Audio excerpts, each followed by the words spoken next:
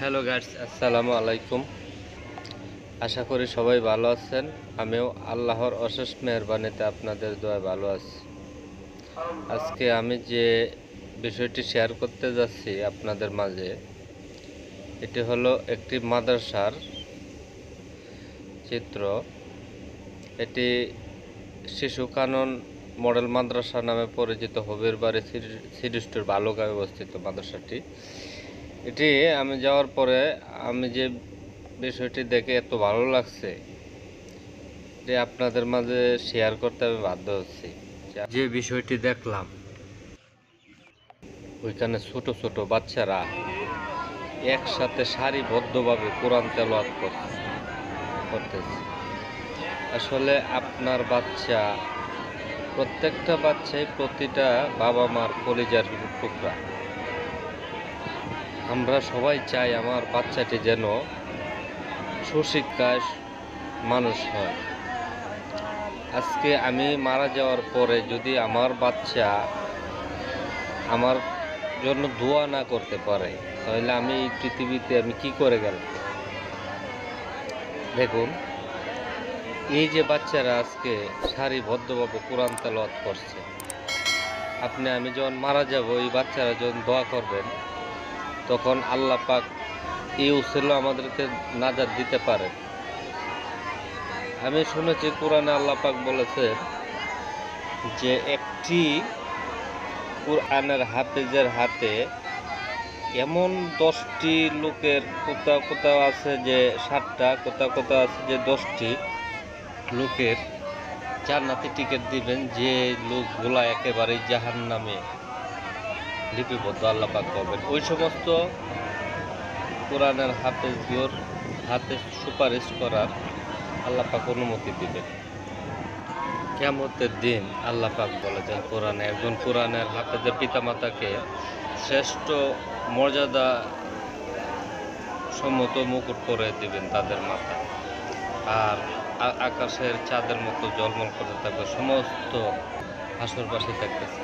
দেখবে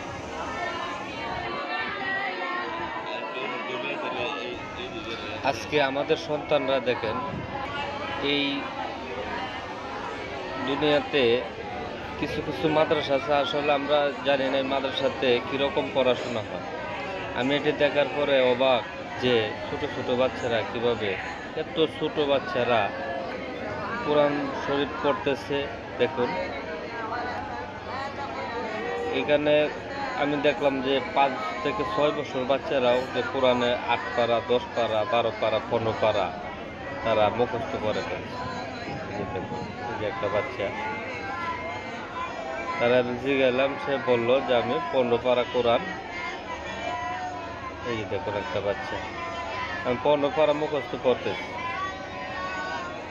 যে সমস্ত বাচ্চারা, আমরা প্রাইমারি স্কুলে তো ক্লাস ওয়ানে পড়ার কথা।